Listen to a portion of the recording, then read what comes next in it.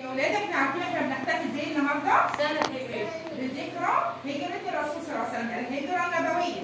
طب عارفين إيه قصة الهجرة النبوية دي يا ولاد؟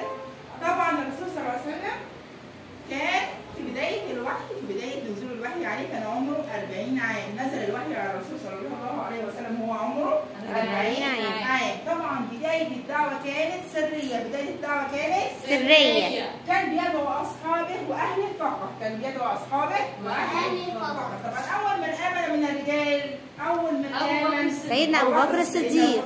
برافو عليك. طبعا كان صاحبه. أول من صدقه، كان صاحبه. وأول من صدقه آمن أول من بيه. وآمن بيه.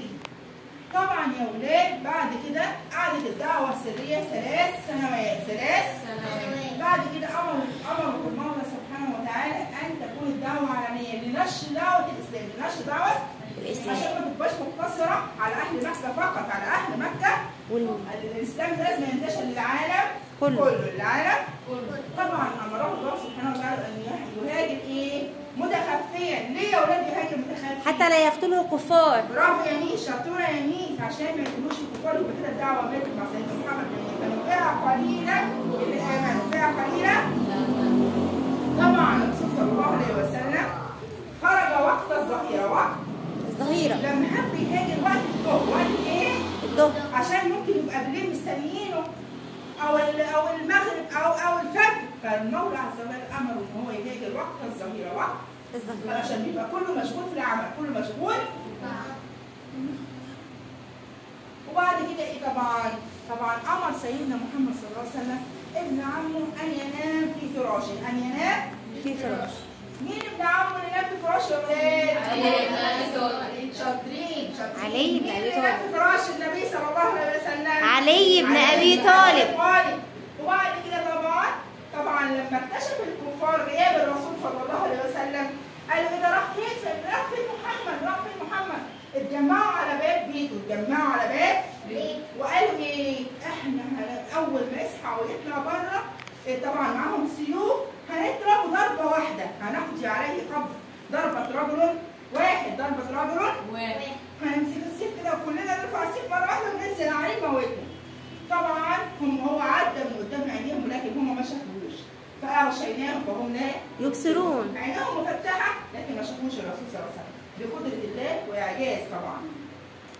فضلوا واقفين إن سيدنا محمد يخرج طبعا هو خرج وهم مش شايفينه خرج وهم مش مش شايفينه وراح أخذ صاحبه واتجهوا للغار. مين اللي شافه؟ مين اللي شافه وهو رايح الغار؟ سراقة بن مالك. آه، سراقة بن مالك. سراقة ابن مالك. ورجع جري بسرعة يقول للكفار أنا شفت محمد. أنا شفت محمد وهو متجه. إلى الغار. متجه إلى الإيه؟ الغار. فطبعا قالوا له لو أنت مش بتكذب هتاخد مين؟ ناقه قال لهم أنا مش بكذب طبعا هو راح فده دليل على إن المولى عز وجل هو اللي حامي سيدنا محمد هو اللي حامي سيدنا محمد. عشان كده خلى واحد منهم يشوف خلى واحد منهم عشان يثبت لهم إن المولى عز وجل إن سيدنا محمد نازل برسالة واللي حافظه إله واللي حافظه إله المولى عز وجل. طبعا هو راح وكل ما يقرب من الغار كل ما يقرب من سيدنا محمد وصاحبه الفرس اللي هو راكبه يقع. يقوم يقع يقوم يقع فراح جاري إيه قال أنا مش دعوة أنا مش هقدر أعمل حاجة أنا ماشي أنا ماشي. طبعا هم قربوا وقفوا قدام الغار واتجمعوا كلهم قدام الغار. سيدنا أبو بكر في الوقت ده كان خايف خايف خايف على مين؟ على سيدنا محمد. خايف على نفسه؟ لا، خايف على سيدنا محمد. بس يا مصطفى. ولما يكون عندنا صداقة صداقة قريبة.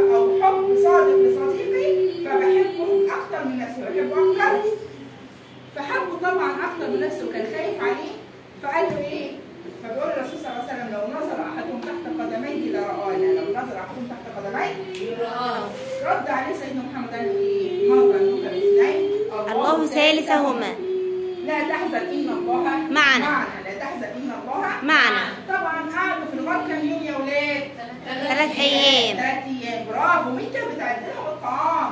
أسماء بنت أبي بكر. أسماء بنت, أبي. بكر. كانت تاخد الطعام توديه للغار وترجع كل يوم مدة الثلاث أيام دول مدة الثلاث أيام؟